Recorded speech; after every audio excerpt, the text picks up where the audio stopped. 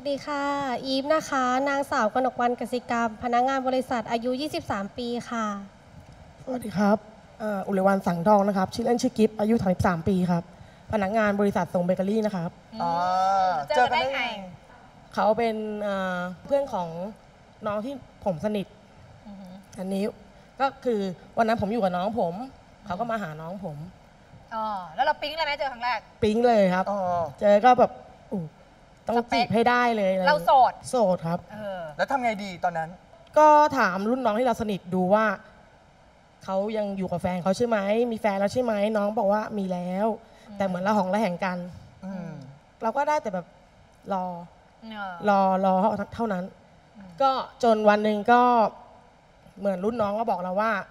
เขาเลิกกับแฟนเขา อืมเราก็ ขอไลน์ขอเฟซขออะไร อ๋อแฟนเป็นผู้หญิงผู้ชาย เป็นทอมเป็นค่ะทอมเหมือนกัน ออกมาทางนี้ คบทอมมาตลอดใช่ค่ะ เออพอเลิกปุ๊บเราขอขอไลน์เขาเล่นไงต่อ ก็ก็ก็เริ่มเริ่มคุยครับ เริ่มคุยกัน มาถึงวันเกิดเขาพอดี อ๋อเราก็จะเซอร์ไพรส์เขาอะไรอย่างเงี้ยแต่คือเราไปเห็นในเฟซว่าเขาดันลงรูปแฟนเก่า อยู่ในกลุ่มเพื่อนอะไรอย่างเงี้ยครับ ผมก็เลยแบบหายไปเลย เราหายไปจากเขาเลย เรารู้ไหมว่าเขามาจีบตอนมาคุยรู้เราค่ะ รู้ค่ะ ไม่ได้สนใจเลยค่ะ แล้วไม่ตอได้นไม่ได้ปิ๊งเขาไม่ได้อะไร ใช่ใช่ไม่ได้สนใจก็เลยเป็นคนค่ะหนึ่งที่เข้ามาคุยกับเรา ใช่เขาจะมาจะไปก็ไม่ได้ใช่ไม่ได้สนใจใดใช่ค่ะ แต่ว่าระยะเวลาตอนนั้นคือคุยกันมาเกือบครึ่งปีแล้วค่ะหกเดือน ฮะ หกเดือน ใช่ค่ะ ก็คุยชอบเรื่เขาอไหมยๆค่ะ ไม่เลยค่ะ ไม่คิดที่จะชอบด้วยๆแล้วตอนไม่เขาคิดหายชอไปบแล้วอะทำไมคุยกันหกเดือนอะ ก็คุยไปเรื่อยๆ ค่ะ แบบเขาคุยเขาคุยหลายใช่คนใช่คุยหลายคน มีคนคุยหลายคุยหลายคคนน ใช่ค่ะ ตอนเขาหายไปเป็นไงบ้าง ก็ระยะเวลานั้นก็นานแล้วเนาะหนูก็เลยรู้สึกแบบ เอ๊ะทำไมถึงหายไปแปลกๆนะ เพราะว่าในขณะที่ 6 เดือนที่เราคุยกันอะ เขาใส่ใจเรามากเลยค่ะ จนวันที่เขาหายไปเลยค่ะ ไม่ตอบแชทไม่ตอบไลน์ไม่อะไรเลย เราไลน์ไปเขาก็ไม่ตอบเหรอ ไม่ตอบเลยค่ะ หายไปเลย วันเกิดหนูคือหายไปเลยค่ะ ไม่มา happy birthday เลยอะไรอย่างเงี้ยค่ะ อ๋อ ใช่ ก็เลยวันรุ่งขึ้นก็เลยทักไปหาเขาอีกค่ะว่า จะไม่มา happy birthday หนูหน่อยเหรออะไรอย่างเงี้ยค่ะ แล้วเราว่าไงใจอ่อนไหม ก็ ก็บอกเขาว่าอะ happy birthday นะอะไรเงี้ยแค่เนี้ยครับผมก็หายไปอีก จนกระทั่งเขาไปถามรุ่นน้องผม เพื่อนสนิทใช่ค่ะ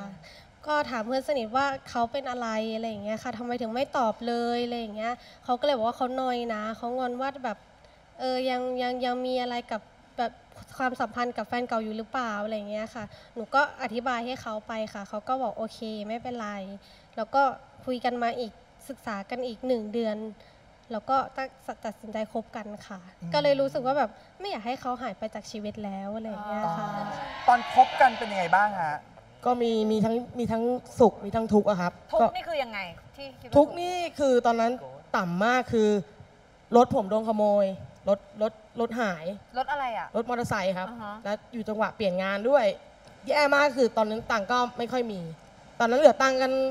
สองคนเนี่ยเหลือสี่สิบบาทอืม แล้วไง เหลือตังค์กันแค่ 40 บาทหิวข้าว เราก็แบบเราก็ทนนะ บอกว่าไปกินก๋วยเตี๋ยวมันก็ได้ก๋วยเตี๋ยวเดี๋ยวกินด้วยกันเนี่ยชามเดียวสั่งพิเศษมาเลย อืม40 ก็กินด้วยกันแล้วก็บอกเขาเสมอว่าจำไว้นะว่าครั้งเนี้ยเราเคยลำบากขนาดนี้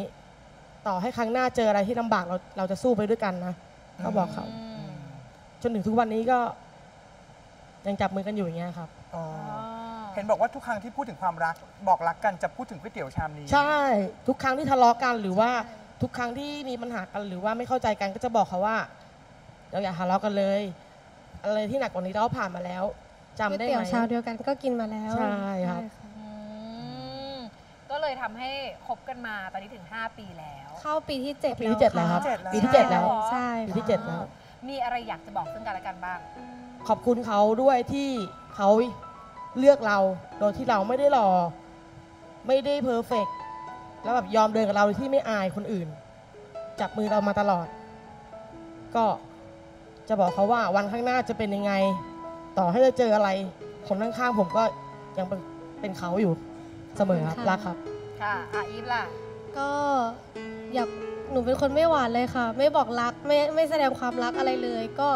วันนี้อยากจะบอกว่าขอบคุณนะที่แบบใส่ใจในทุกๆเรื่องคอยให้กำลังใจกันมาตลอดดูแลมาทุกๆอย่างอะไรอย่างเงี้ยค่ะ ก็หนูรักพี่เสมอนะเออเอาชวันหน่อยหนึงสาวซ้เอ้ยขอบคุณค่ะครับำค่ะ E N S E ขึ้นชื่อว่าเซนก็รู้จักกันดีซัสซัสซัสซัส E N S E ถ้าบอกว่าเซนก็รู้จักกันดีซัสซัสซัสซัส E N S E ใครบอกว่าเซนก็รู้จักกันดีซัสซัสซัส E N S E ก็พวกเรานั้นทำรายการทีวีเซนทีวีเซนทีวีเซนทีวีเซนทีวี